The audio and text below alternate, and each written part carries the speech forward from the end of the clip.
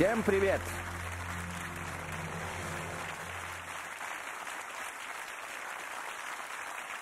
Добро пожаловать на новый благотворительный выпуск игры «Кто хочет стать миллионером». Единственное шоу, которое не любят наши члены парламента, потому что здесь действительно приходится отвечать на заданные вопросы.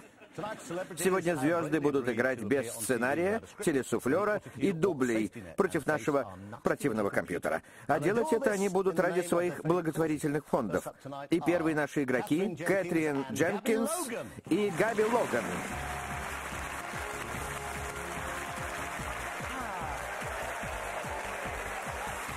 Здравствуйте, прекрасно выглядите. Рад вас видеть. Спасибо.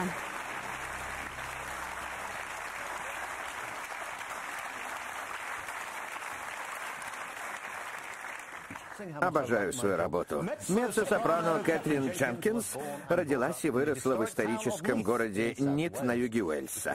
Она росла в обычной семье, но скоро родителям стало ясно, что у нее необычный талант. Кэтрин было всего 10, когда она стала хористкой года. Ее приняли в хор Королевской школы церковной музыки. А в возрасте всего 17 лет она стала стипендиаткой Королевской академии музыки. С появлением Кэтрин в мире оперы, благодаря ее красоте и обаянию, оперная музыка стала так популярна, как никогда раньше.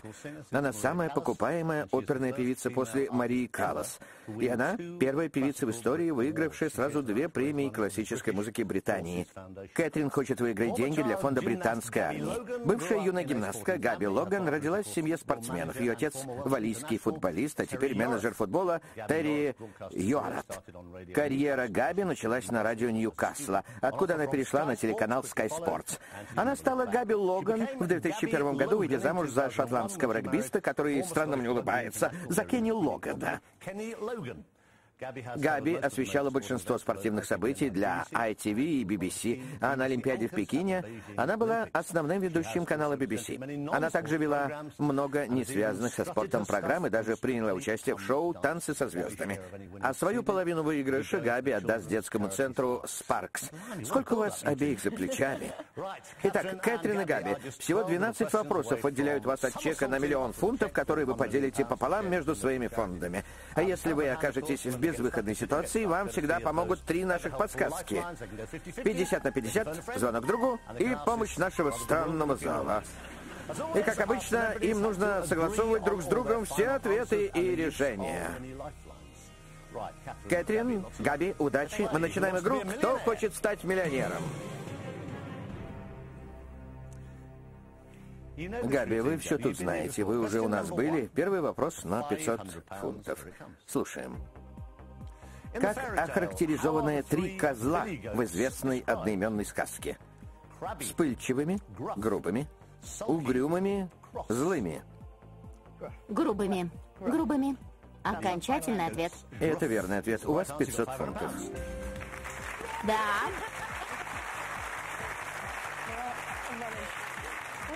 А теперь второй вопрос. Что из этого не является корнеплодом? Морковь, капуста, пастернак, брюква. Наверное, капуста. Я тоже так думаю. Отвечаем? Да, давай. Ответ окончательный? Подождите, проверим еще раз. На всякий случай. Морковь в земле, пастернак в земле, брюква тоже. Это капуста, это капуста. Ответ верный. У вас тысяча фунтов.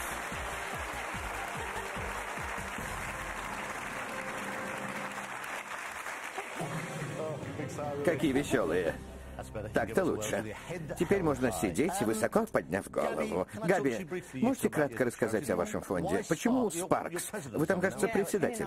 Да, мы с Кенни были там пару лет сопредседателями. Спаркс — это благотворительный исследовательский центр, занимающийся многими болезнями, которыми Страдают грудные дети и постарше. Этот центр необходим, потому что бюджет Британии тратит всего 1% средств на исследование детских болезней. Сейчас, например, много средств уходит на исследование нейробластомы, при которой выживает лишь 30% детей. Это самый убийственный рак для детей от года до пяти. Например, лейкемия благодаря исследованиям теперь лечится в 90% случаев. Поэтому я очень хочу выиграть побольше и вложить в исследование нейробластомы. Кэтрин, фонд британской армии, вы вроде давно с ними работаете. Да, я дважды была в Ираке, в Афганистане, в Косово. И ваш вертолет, там попал снаряд? Да, в мой первый приезд. Над Басрой? Да, над Басрой. В наш вертолет попала ракета. А почему, говоря это, вы улыбаетесь? Не страшно было? Да нет, не в этом дело, просто я нервничаю. Было страшно. Особенно если учесть, что мы в этот момент спали, и тут вдруг крик «Внимание! Ракетный удар!» Боже! И вертолет начал резко падать и стал делать такие такие маневры специальные. А потом нам удалось благополучно сесть, и я... И я дала концерт. Вы туда прилетели дать концерт войскам? Да. И меня это происшествие не напугало, потому что это для меня было очень важно. Я верю в фонд британской армии, и я полечу туда, куда они меня попросят. Да, прекрасный фонд, согласен. Итак, дело серьезное. У вас тысяча фунтов. Габи, прямо как в прошлый раз. Вы злюка. Но в прошлый раз вы проиграли и забрали тысячу, а в этот раз, может, и повезет. Это была тренировка. Да, третий вопрос на две тысячи фунтов, и все подсказки целы. И рядом нет Али Маккойста. Поехали. Кто получил премию Британской академии кино и телевидения за роль Рэнди Робинсона в фильме 2008 года «Рестлер»? Сильвестр Сталлоне, Микки Рурк, Роберт Де Ниро, Шон Пен. Микки Рурк. Микки Рурк, ответ окончательный. Ответ верный, у вас 2000 фунтов. Наша тема. Отличный фильм. Он был номинирован на Оскар. Итак, у Кэтрин и Габи 2000 фунтов. Уже вдвое больше, чем было у Габи в прошлый раз. А до миллиона 9 вопросов. И все подсказки целы. Не переключайтесь.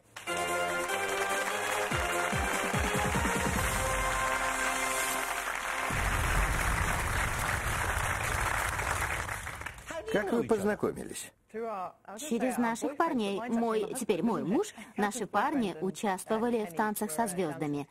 Помнишь, что они про нас сказали? Они сказали, что мы как две капли воды. Настолько мы похожи внешне и по характеру. Они тогда часто общались. А вы слышали, как Габи Логан поет? Это ужас. Она слышала. Это лучше забыть. Увы, не могу. Я спела при ней с днем рождения, она повернулась ко мне и так на меня посмотрела. Да нет. Извините, но вернемся к вопросам. Четвертый вопрос на пять тысяч фунтов. Все подсказки целы? Слушаем. Какой области журналистики больше всего знаменит Роберт Пестон? Наука, бизнес, здоровье, окружающая среда. Бизнес.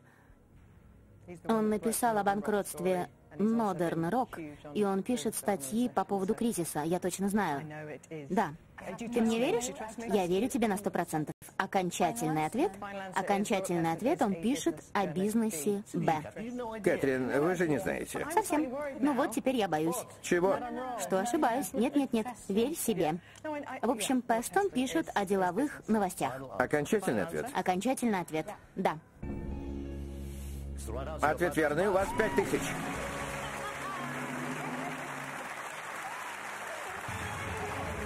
Уже больше. Итак, пятый вопрос стоит 10 тысяч, и вы не использовали ни одной подсказки. Слушаем. Какой писатель является тезкой капитана военного корабля «Виктория», участвовавшего в Трафальгарском сражении? Чарльз Диккенс, Грэм Грин, Джордж Оруэлл, Томас Харди. Не знаешь, понятия не имею. Да, я могу только гадать. Думаю, что зал должен знать. Или, по-твоему, нужно звонить другу? Я думаю, что нужно звонить другу, да? Вы же говорили, зрители тупые. Да-да, я слышал. Не я, а она сказала. Кстати, знаешь, что интересно в этой игре? Я заметила. Даже если четверть зала знает, остальные распределятся почти поровну. И как тогда верить их ответу? Я бы поверила, но в прошлый раз ты из-за этого проиграла. Да-да. Вот моя рана, насыпь в нее еще больше соли. Но ведь в прошлый раз они ошиблись, верно? Да, но, по-моему, это произошло потому, что я сама их сбила. Я опустила их по ложному следу. Если бы не я, они бы ответили иначе. Так, а если будем звонить, то кому? У меня есть друг Тони, он знает литературу. Так, а твой друг? У тебя же есть эксперт по войнам. Да, да, есть. Но лучше, конечно, эксперт по литературе. Думаю, да. А может, позвоним лорду Эшкрофту? Думаешь, он знает? Может быть. Он вообще знает все на свете, да? А мы будем ему звонить из-за десяти тысяч? Жаль тратить эту подсказку. Мы же не хотим повторить твою ошибку. Значит, придется... Хорошо. Она сказала хорошо. Скажи еще раз. Ладно. Я думаю, лорд Эшкрофт. Хорошо, звоним. Мы звоним лорду Эшкрофту. Откуда вы его знаете? Он тоже покровительствует фонду британской армии. Ясно. Он очень щедрый. А он умный? Невероятно умный. Дурака я бы не взяла. Некоторые берут, уж поверьте. Некоторые. Может, я об этом и пожалею? К нему нужно обращаться, лорд? Да, лорд. Милорд. Нет, лорд Эшкрафт. Ясно, хорошо. Не берет трубку. Лорд Эшкрафт. Да. Здравствуйте, это Крис Таррент. Как поживаете? Здравствуйте, Крис. Все хорошо. У нас тут серьезное дело. Играет Кэтрин. Играет хорошо, но они с Габби застряли на одном вопросе. Он стоит 10 тысяч. Ясно. Ясно. Теперь с вами будет говорить Кэтрин. Она прочтет вопрос и четыре варианта ответа. Один из них верный. Кэтрин, 30 секунд. Удачи, время пошло. Здравствуйте. Какой писатель является тезкой капитана военного корабля «Виктория», участвовавшего в Трафальгарском сражении? Чарльз Диккенс, Грэм Грин, Джордж Оруэлл, Томас Харди. Повтори вопрос. Какой писатель является тезкой капитана корабля «Виктория» в Трафальгарском сражении? Чарльз Диккенс, Грэм Грин, Джордж Оруэлл, Харди. Харди? Вы сказали Харди? Харди? Он сказал Харди? Он сказал Харди, но что он имел в виду? Он имел в виду Уоррелла. Откуда там Харди? Быть не может. Нет, я о том, что, может, он просто повторил последнее имя. Давай понять, что он его помнит. Да, может, он просто повторил последний вариант. Но это было бы глупо, ведь он понимал, что время кончается, и ты решишь, что это ответ. Может, он сказал Харди в смысле «поторопись»? Да, поторопись. А может, он сказал «не слышу». Я вас не слышу. Тоже вероятно. Это в качестве помощи. Да, вы сильно помогли. Так, зал мы уже сбили этой подсказкой. Если взять 50 на 50, то могут остаться те, что мы думаем. Не обязательно, Кэтрин. Это дело случая. Ну да. А лорд Эшкрафт богат, может, он нам вернет деньги, если мы проиграем. Кстати, может быть и вернет. Хороший план, хороший выбор. Ведь это будет его вина. А может, он сказал совсем, совсем нет денег. Сомневаюсь. Я совсем ничего не знаю. Я совсем ничего не слышу. Может, я и лорд, но я очень быстрый. Да. Да, полное безумие. Ну что, ответим? Харди? Да. В смысле, быстро? Проблема в том, что если мы ошибемся, мы вернемся к тысяче фунтов Габи. Это точно. Это же, прости, соль на рану. И она больше не будет ни во что играть в Британии. У нас еще не было случая, чтобы человек дважды ушел с тысячи фунтов. Видишь, все шансы за нас. А знаете, что было в прошлый раз с этой тысячей? Мне пришлось участвовать в другой акции, ведь я обещала деньги фонду, а ничего не выиграла. Тебе придется бежать марафон. Лорд Эшкрофт сказал Харди. Кэтрин верит в лорда Эшкрофта. Что он ее не подведет. Кэтрин, думаю, нам нужно ответить Харди. Харди, Ответ окончательный? давай говори. Ты скажи. Ну, спасибо. Мы выбираем Харди. Харди, ответ окончательный. Хочу сказать, ведь зал у нас всегда жмет на кнопки. Сто процентов зала проголосовало за Томаса Харди. И лорд Эшкрафт сказал Харди. И Харди — это верный ответ. У вас 10 тысяч фунтов. Простите, что я в вас не верила.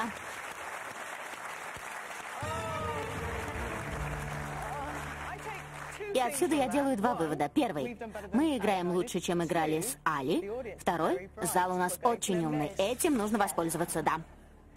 А если вы помните историю своей страны... Да. Поцелуй меня, Харди. Так сказал Нельсон капитану Харди, когда умирал. Значит, там был Харди. Иначе он бы сказал, поцелуй меня, Оруэлл. Итак, у вас 10 тысяч. Отлично. И осталось две подсказки. Очень умные зрители в зале и 50 на 50. Все в порядке? Да. Вопрос шестой на 20 тысяч фунтов. Шутки в сторону. Вы в двух шагах от 50 тысяч. Слушаем вопрос шестой из возможных 12. Какой игрок в крикет стал 25-м в истории игроком, получившим 100 по 100 в 2008 году? Эндрю Страус, Маркус Трескотик, Роберт Ки, Марк Рамприкаш. Крикет не мой спорт. Я понимаю, что ты смотришь на меня и ждешь ответ. Значит, мы обе не знаем. Да. Значит, нужно спросить зал. Да, потому что я знаю, кто не может быть ответом. Будем надеяться, что зал знает и поможет. Хорошо. Мы же любим зрителей. Мы их обожаем. Помогите нам. Вы просто чудо. Подлизы. Мы просим помощь зала. Да, не чудо. Ладно, зал, берем пульты. У вас есть шанс блеснуть. Кэтрин и Габи нужна ваша помощь. Слушаем вопрос. Какой игрок в крикет стал 25-м в истории игроком, получившим 100 по 100 в 2008 году? Кнопка А. Эндрю Страус. Б. Маркус Трескотик. С. Роберт Ки. Д. Марк Рамприкаш. А, Б, С или Д. Голосуем.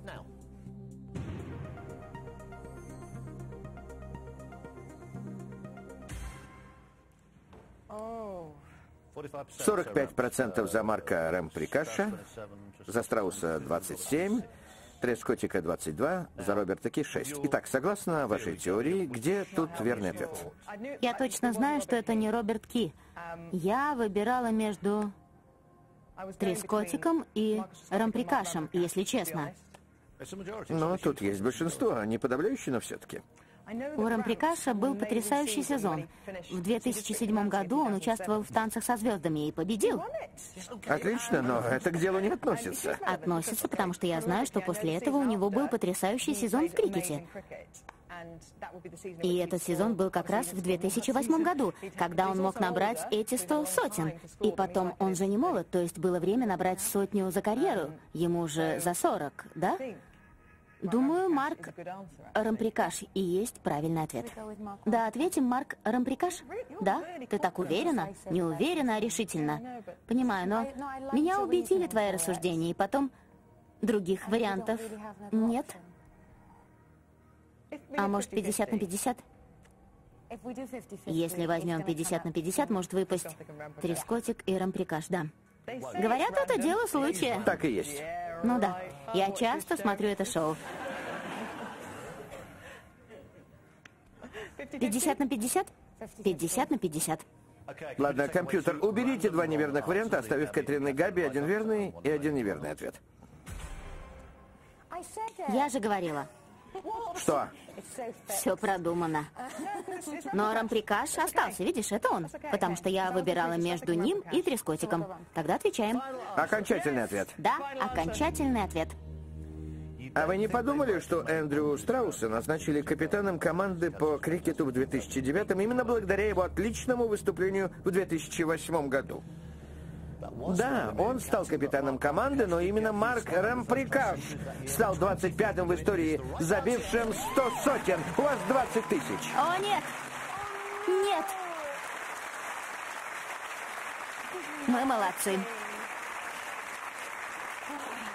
Итак, Боже мой, я уже приготовилась, что сейчас отправлюсь домой. У меня чуть сердце не остановилось. Итак, у вас 20 тысяч фунтов, и вы в одном шаге от 50. Но подсказок не осталось, не переключайтесь.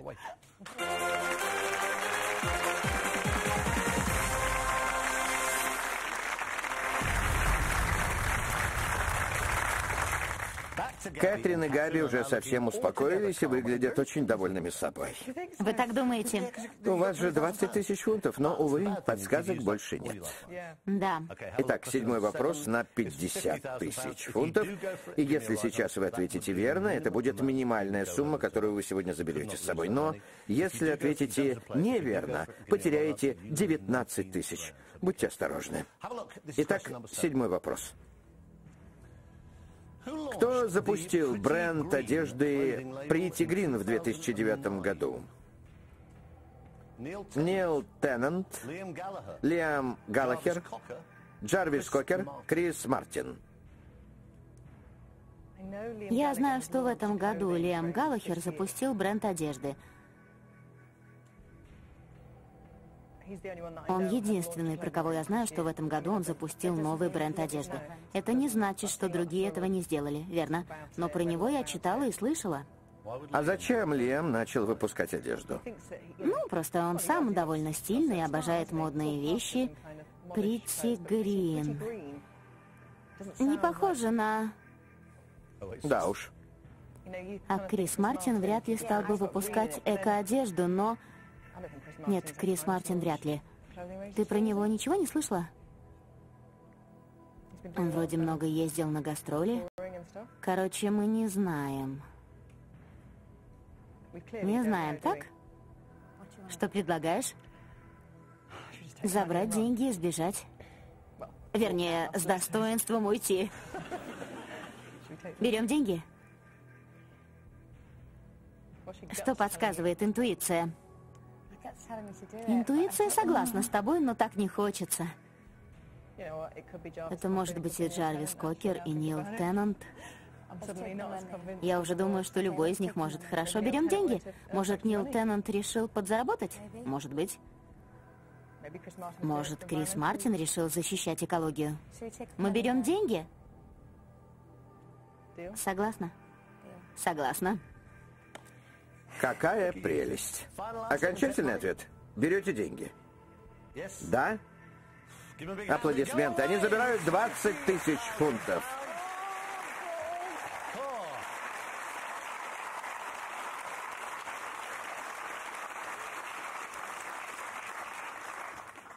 А теперь я это скажу. Что мы были правы. Если бы вы сказали Крис Мартин, вы бы потеряли 19 тысяч.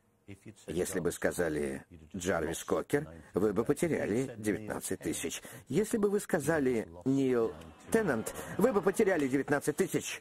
Верный ответ. Лиам Галлахер, автор бренда Pretty Green. Так и знала. Отлично сыграли. Аплодисменты. 20 тысяч фунтов. Молодцы. Смотрите на все позитивно. У вас 20 тысяч фунтов. На 19 тысяч больше, чем в прошлый раз. Спасибо за игру. Спасибо вам. Вы чокнутая. Аплодисменты. 20 тысяч фунтов.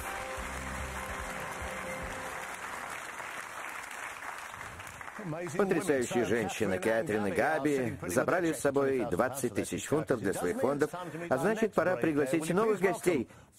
Встречайте бывших международных звезд тенниса Аннабель Крофт и Пэт Кэш.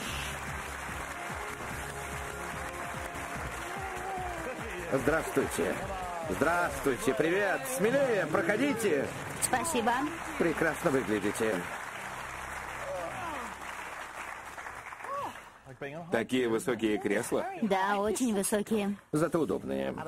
У Аннабель Крофт была очень успешная, но короткая теннисная карьера. Она вошла в 25 лучших игроков мира, а затем ушла из спорта, когда ей было всего 21 год. Стала ведущей на телевидении и завела семью. Ее карьера на телевидении пошла в гору, когда она заменила на вертолете ведущую Анику Райс шоу «Охота за сокровищами». С тех пор она вела много разных шоу и приглашалась в качестве гостя на всевозможные передачи, где требовалось ее экспертное знание тенниса, а также опыт в качестве спортивного комментатора. В 2009 году она храбро вызвалась принять участие в реалити-шоу канала BBC, где знаменитостям нужно было прожить на улицах Лондона без дома и денег в течение 10 дней. А здесь она была для того, чтобы выиграть денег для Centerpoint, фонда для помощи бездомным. В возрасте 16 лет австралиец Пэт Кэш возглавлял мировой рейтинг теннисистов-юниоров. Через год он ушел в профессиональный спорт, а через пять лет выиграл Уимблдон. Затем были бесчисленные победы на различных чемпионатах, но Уимблдон остался самым важным среди них. Десять лет назад он ушел из спорта и стал тренировать молодых теннисистов, таких как Грег Русецкий, который тоже был у нас. Пэт открыл Академию тенниса на Золотом берегу Австралии и планирует открыть еще несколько в других экзотических уголках мира, от Таиланда до Карибов. А играть будет для фонда «Орхидея». Итак, есть о чем поговорить, но сперва заработаем денег. Всего 12 вопросов до миллиона и три подсказки. И им нужно согласовывать друг с другом все ответы и решения. В этом подвох. Удачи! Мы начинаем игру «Кто хочет стать миллионером?»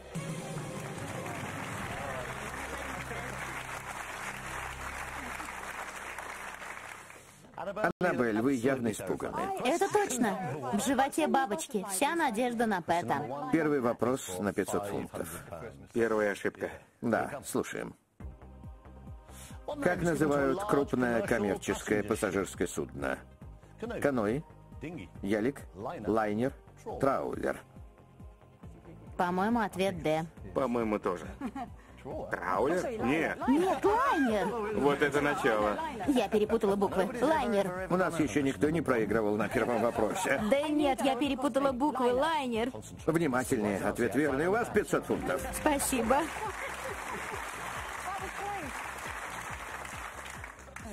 Итак, у вас 500 фунтов.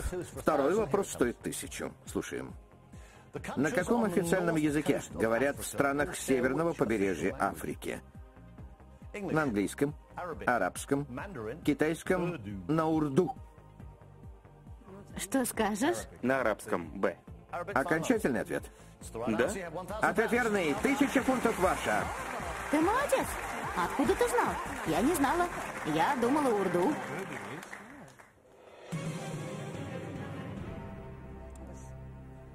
Аннабель, Centerpoint — прекрасный благотворительный фонд. Я с ним работал. Но почему вы его выбрали? Как это вышло?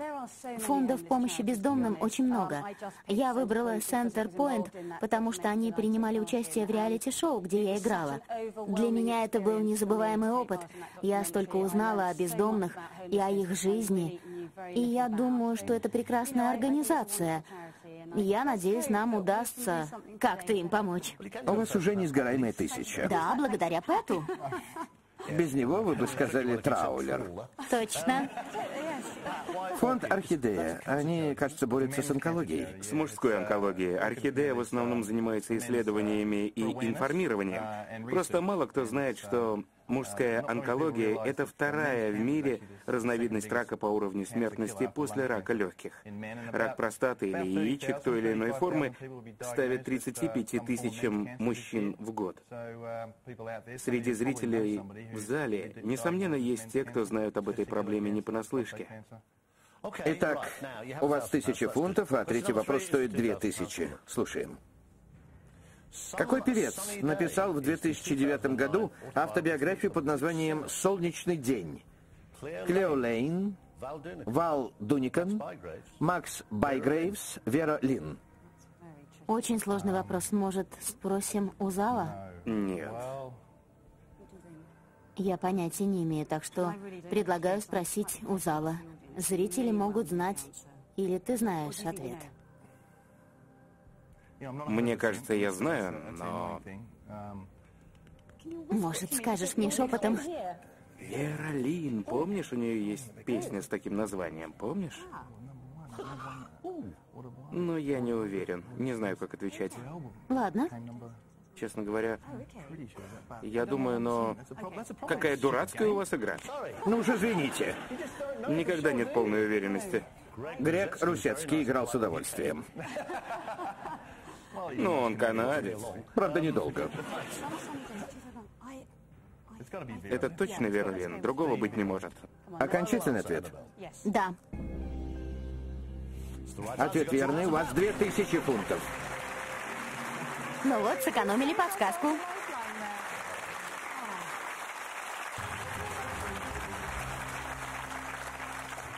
Итак, у вас 2000 фунтов, дело серьезное. 2000 и все подсказки целы. Четвертый вопрос стоит 5000. Слушаем. В каком американском штате есть аэропорт, сокращенно называемый DFW? В Вашингтоне, в Техасе, в Делавере, в Калифорнии. В каком американском штате? Даллас, Форт Уортс, Д, Техас. Молодец. Окончательный ответ.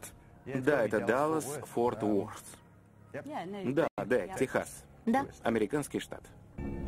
Ответ верный. У вас 5000 фунтов. Умница. Моя бывшая из Техаса, все мои бывшие из Техаса, и будущая жена тоже. Сколько же у тебя бывших жен? У меня только одна. Это песня «Все мои бывшие из Техаса». Помнишь песню? Да. Хорошая, ее пела Вера Лин. Итак, у вас 5000. Все подсказки целые. Пятый вопрос стоит 10 тысяч. Слушаем. Какая организация в средние века получала прибыль в виде налога под названием «десятина»? Парламент, монархия, церковь, пресса. Средние века. Мы с сыном это учили. Позвоним ему, он есть в списке? Я думаю, это церковь. Вы учили это с сыном, да? Ну, я с ним повторяла историю для экзамена. Да. И я помню, что мы говорили о десятине. Но я точно не помню. Но что-то подсказывает, что это церковь, потому что я помню, что в те времена церковь имела большую власть и взимала налоги. Но я могу и ошибаться. Я такие вещи очень быстро забываю. Давай возьмем 50 на 50 и посмотрим. Думаешь? Ну да. Ладно, давай. Думаешь, стоит попробовать? Да, возьмем 50 на 50. Ладно. Хорошо, компьютер, уберите два неверных варианта, оставив Пэту и Аннабель один верный и один неверный вариант. Да. Ладно. Значит, церковь. Мы отвечаем «С» — церковь. Ответ окончательный? Да. Пэт. Да, да. Ответ верный. И у вас 10 тысяч фунтов.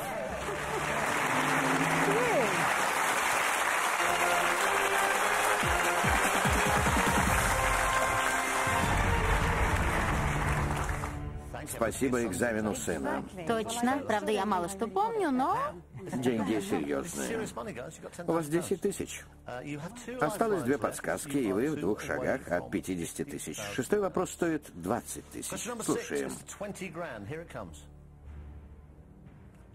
В результате какого процесса получается йогурт? Леофилизация, ферментация, дегидратация, дистилляция. Ну что, ферментация? Да, думаю, да. Ферментация. Дистилляция, так делают алкоголь. Ладно. И не дегидратация. И не леофилизация. Это ферментация. Отвечаем ферментация? Да, давай ответим. Мы же оба так думаем. Да. Да.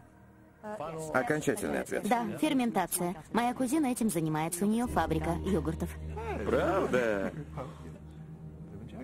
Только бы не ошиблись. Вы молитесь? Молюсь. Только бы мы не ошиблись. Это верный ответ. У вас 20 тысяч фунтов. Боже мой. Мы отличная команда, да? Итак, шутки в сторону. Ребята, седьмой вопрос, но вы не обязаны отвечать. Вы можете использовать обе подсказки и все равно забрать деньги. Что будет отличным результатом, не спешите. Седьмой вопрос стоит 50 тысяч фунтов. Если дадите верный ответ, это будет минимальной суммой вашего сегодняшнего выигрыша. Седьмой вопрос из возможных 12. Что из этого является традиционной формой китайской медицины? Банки, горшки, тарелки, кружки. А банки? Ну уж не спешите. Мы обсуждали китайскую медицину. Я сам ей занимаюсь, люблю китайскую медицину. И банки это сначала огнем выжигает воздух, и банка... Присасывается кожа на спине. Да, точно. Я тоже это знаю. И мы перед игрой обсуждали западные и восточные лечебные средства. Да. Да. Да. Ответ окончательный. Да. Вы выиграли 50 тысяч фунтов.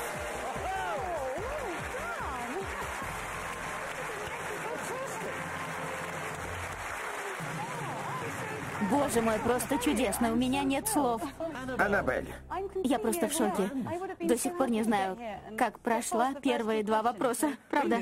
чуть не сказали траулер. Просто я перепутала, перепутала буквы. Фантастика. Невероятно. Да, гениально. А вот ваши 50 тысяч фунтов. Это минимальная сумма, которую... Я просто в шоке. Правда. Смотрите, берите, берите. 50 тысяч фунтов – это минимальная сумма, которую вы сегодня заберете с собой для Орхидеи и Центерпоинт. А теперь восьмой вопрос. Можете отвечать спокойно, вы ничего не потеряете. 50 тысяч уже ваши. Итак, восьмой вопрос на 75 тысяч фунтов. Спрячь в бюстгальтер. Тебе под майку. В каком фильме есть знаменитая фраза «Мы грабим банки»? Бонни и Клайд, ограбление по-итальянски, афера Томаса Крауна, грабеж. Я не знаю. Можете позвонить другу или спросить зал. Вопрос стоит 75 тысяч фунтов. Мы грабим банки. Ты знаешь, Нет. спросим зал или позвоним другу? По-моему, зал должен знать такие вещи. Хорошо. Это не афера Томаса Крауна. Пусть народ в зале напряжется. Да, хорошо, давай спросим у зала. Австралийский сленг. Пусть народ напряжется. По-моему, для зала это будет однобоко. Нужно... Вы, вы согласны на подсказку? Да. Хорошо, итак вопрос. Вопрос к залу на 75 тысяч фунтов. В каком фильме есть знаменитая фраза «Мы грабим банки»? Кнопка А. Бонни и Клайд. Б. Ограбление по-итальянски. С. Афера Томаса Крауна. Д. Грабеж. А, Б, С или Д? Прошу всех голосовать.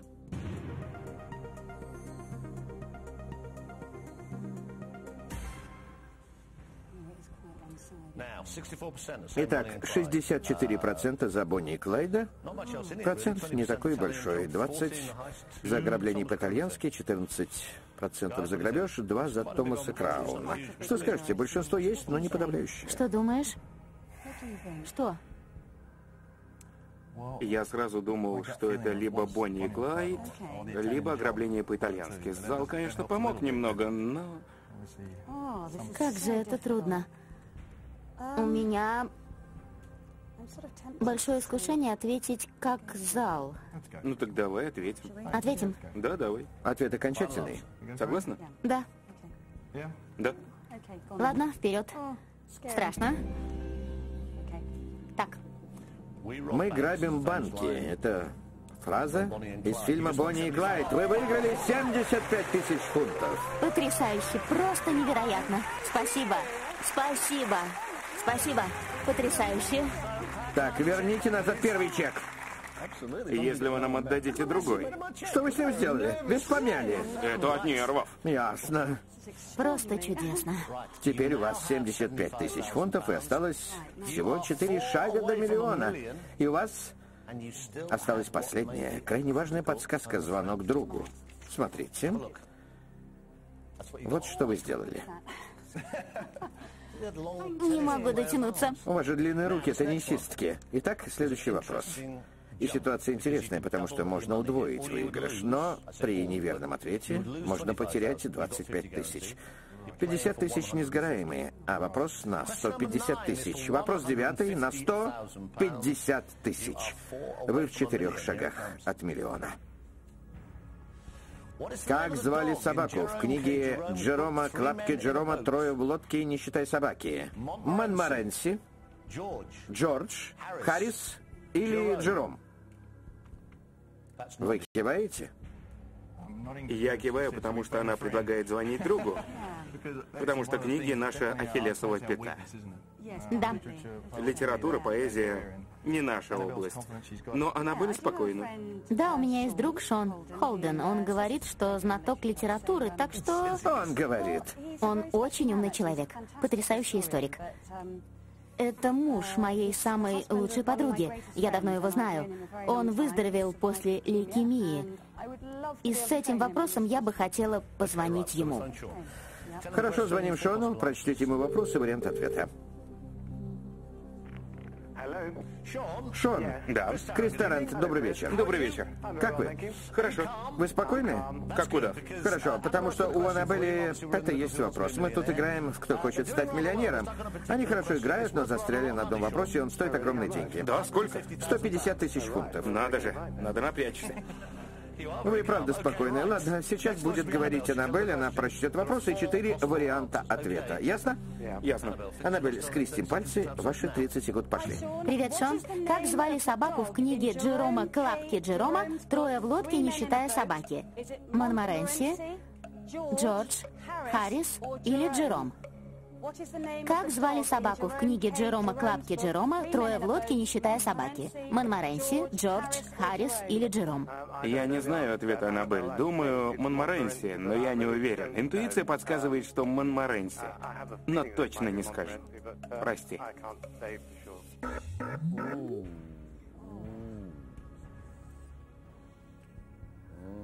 Черт. Как жалко. Сложно решить, что теперь делать. Все-таки 25 тысяч на дороге не валяются. Или рискнем и попробуем выиграть 150? Сложно решить. Я сделаю так, как ты скажешь. А самой как хочется? Ну, я не против того, чтобы рискнуть и ответить Монморенси, потому что мы потеряем только 25 тысяч.